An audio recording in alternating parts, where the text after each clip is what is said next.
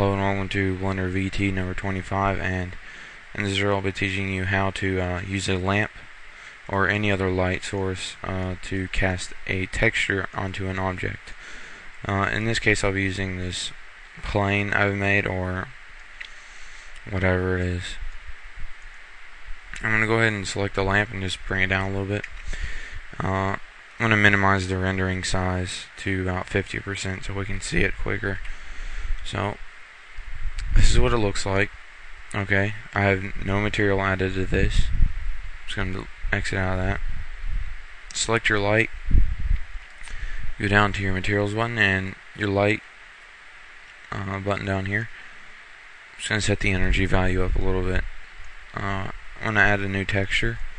And this is where you can, this is where you add your texture and go to your uh, textures panel and add uh, whatever type you want. I'm just going to add a magic and it's really cool looking.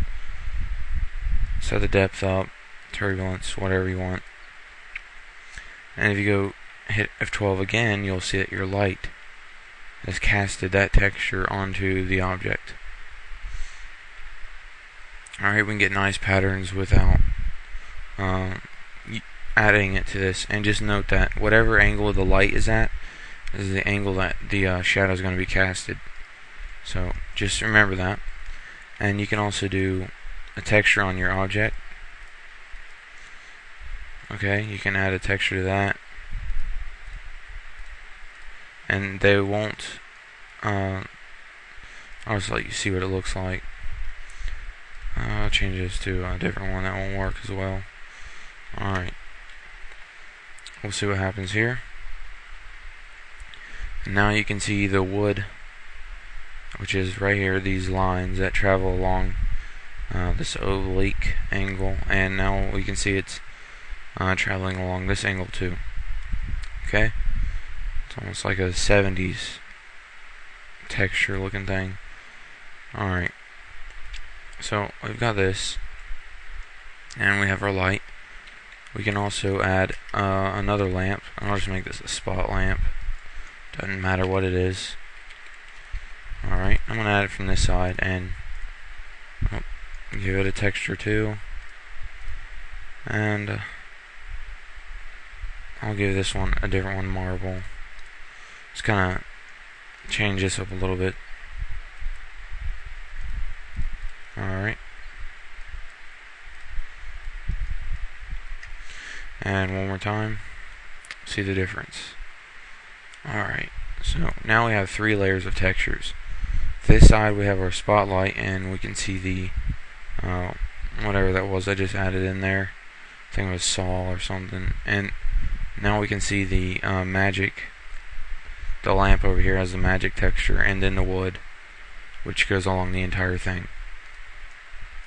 Alright, this is uh, really useful for uh, putting using a lamp to texture an alpha object.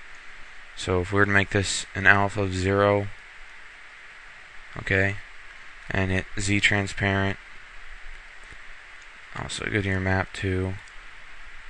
Uh, I'll, do, I'll tell you what I'm doing here later. All I did though was just brought down the alpha to 0, hit Z transparent, and go select your texture and go to Map To and hit alpha. And this will put your texture over the alpha. So your object is gone, all you can see is alpha. So we render this. Now you can see that we have our multiple textures coming in. Alright. Uh, this is useful because wherever the uh, saw is, is where our light is going to hit it. So that's where our texture is going to be. If we had just tried to uh, put all the textures on here, we have this all would be visible the entire object to be visible instead of just these saw lines. Alright, thought you might find that uh, useful. Uh, you can also select the uh, object, okay, and go to the map input. And if you change these around, you can change the uh, way the texture is going onto the object. You can change the offset and the size. You can even change it to a sphere, which does a little difference, not much. Just the way the uh, projection of the texture goes on. That's what all of this is. And you can change your uh, other objects. Okay. And if you use just, I don't know if uh, if you would use Z invert for an alpha of zero, you can try it. And also, I'm going to just show you uh, what tune would do to an alpha. Just brought up all the tune. Okay. You can see it almost just fades out the lines a little more. Alright. Uh, you can also use uh, the lights.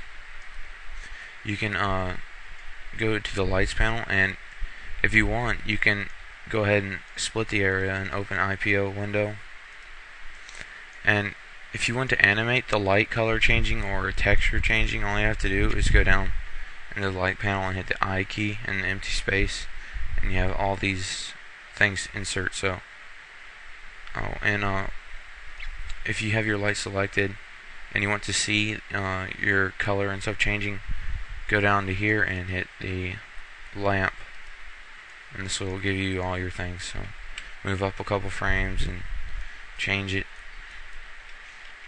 insert them in. Now you can see it's changing. When you render out the animation you'll see the color of the light changing all that stuff so.